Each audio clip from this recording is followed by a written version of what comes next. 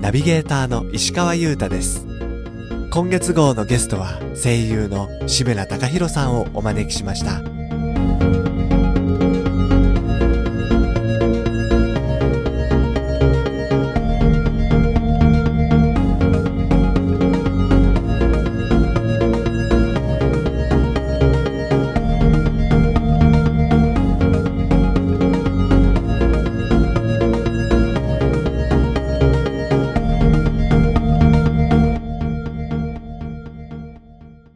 厳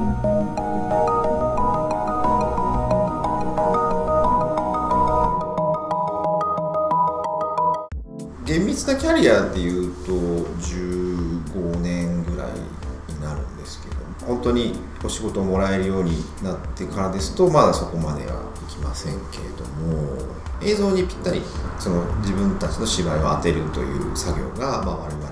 必要とされるんですけど。もやっぱりどうしても新人の頃はそればっかりにとらわれてしまってやっぱり他のことがこう見えなくなってしまう。だからもう本当にこう芝居作りみたいなものがこう共演者の皆さんと作ってるというよりはもう自分とモニターでこうの 台本で作ってるみたいな形に非常になってしまっててそれがやっぱり、あのー皆さんに迷惑をかけてしまったりとか、まあ、ディレクターの意図するお芝居ができなかったりっていうのはやっぱり最初はすごく難しくて。うまくできなかったんですけどもだんだんやっぱりその経験を重ねるにあたってスキルがついてきてでそうなってくるとやっぱり心に少し余裕も出てくるので周りの音とか周りの映像がこう見えてきて。でそうなってくるとね共演者の方々がこうかけてくださったセリフに対して自分の心が動いたセリフがこう、えー掛け合いとして出せるのか。少しずつですけどね。やっぱり、あの実感できてきたかなっていうのはあります。でもやっぱり今でもなんかこうちょっと慌ててしまって失敗してしまったりとかあの聞いてるつもりでもなんかうまく他の共演者のお芝居と一緒にこう作り上げられなかったっていうものもあるのでやっぱりそこはもう日々鍛錬ですよね。だからもう本当に終わりはないというのはもう本当に常日頃から思ってます。その今まで引っかかってたできない部分が、まあ、できるようになってきたっていうのはすごく大きな、えー出来事だと思うんですけども、それと同時に、まあ、楽しみもやっぱり増えました。演出家の意図とでしかも自分がやりたいと思っていたことがぴったりとこうはまった時っていうのはやっぱり何をもものにもこう変えられないこう、まあ、喜びじゃないですけども達成感みたいなのはあると思うんですよね。ただやっぱり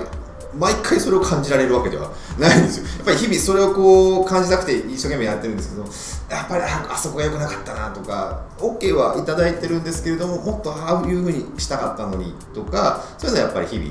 反省したりね後悔っていう言い方はあれですけれどもそういうのはやっぱり常に思ってますね。そのとあるお父さんをやらせてもらったんですけれどもその息子さんが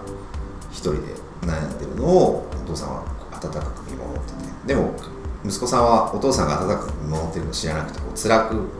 当たるんですね。ででもそれもちゃんと分かった上でお父さんがその息子さんのパートナーさんにそれをこう告白してあげるシーンがあってでお父さんはこう泣きながらそれをこう娘のあ息子の嫁さんに話すんですけどやっぱりそれがこう非常に物語としてすごくいいシーンで書かれてて視聴者にやっぱりすごく伝えたいなっていうのもあってでそれがこううまくこう重なった時に僕もやっぱりこの収録中にそのお父さんと一緒にこう涙がこう出てきてたんですよ。自然と。やっぱりこう語っていると。でやっぱりそういったことが前だったらそれがこう感じられなかったことがこうだんだん少しずつそれがこう、まあ、余裕が出てきたじゃないですけど技術が向上することによってそのキャラクターのなりきるっていう言い方は僕は好きじゃ